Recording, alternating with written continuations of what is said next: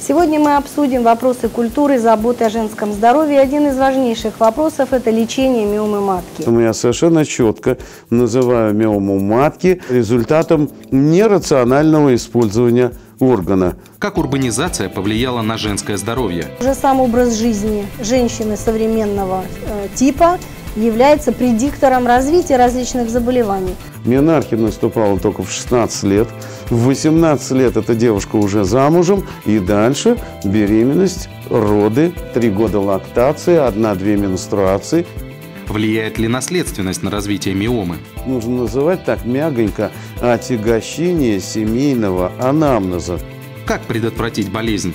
Нет овуляции, нет никаких фаз цикла, есть только имитация, менструально-подобная реакция, это монотонность определенная.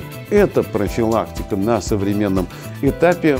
И какой метод выбрать? Где грань и роль хирургических методов, э, методов фармакотерапии. Если чисто денежная выгода, то можно, э, то можно делать так, пойти по ОМС и отрезать матку. Быстро, выгодно, надежно. Нет органа, нет проблемы, будут другие проблемы. Для женщины лучшая операция – это не сделанная операция. Фарма Ньюс на Первом медицинском.